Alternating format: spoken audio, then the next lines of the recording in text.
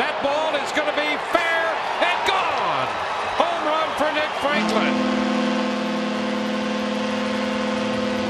Franklin belts a two-run homer. And the Rays add on. It's 12 to 4 and a career night for Nick Franklin.